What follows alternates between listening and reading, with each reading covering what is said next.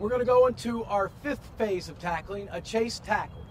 And with the chase tackle, what we'll do is we come down, we'll put the hand away from the ball on the hip, and we'll teach a club first.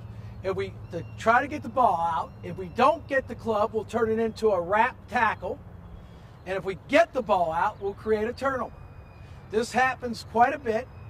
It's a chase tackle where a, ball, a, a defender is chasing behind the defender. It doesn't happen quite as much as an angle chase tackle, pursuit tackle, but this does occur. You'll see it on TV all the time and in games.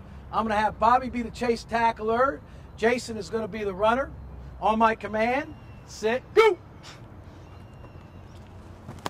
Boom, get it out. There you go. Rip club, very, very good. One of the key things here as we do this is the fact that you want to have the hand away from the ball be the off hand. Obviously, if you're going to do a club, you want to be able to, uh, you have to go for the ball.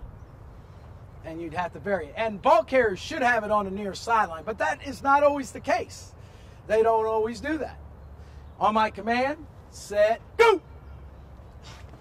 Very good, Bobby. Very, very good. Very, very good.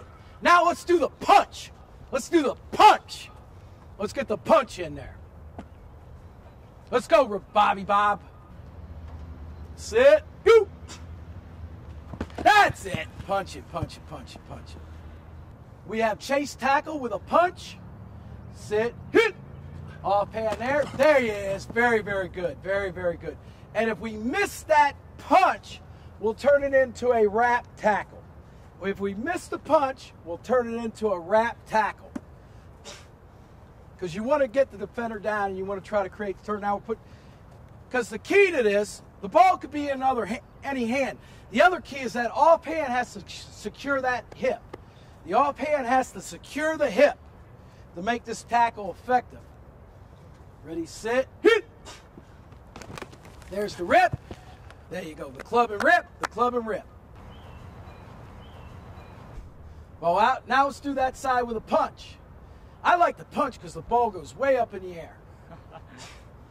he won't eagle claw it. Sit. Hit. That's excellent. Good job. Ball, ball, ball, ball, ball. Hop off it. Here we go. Very good.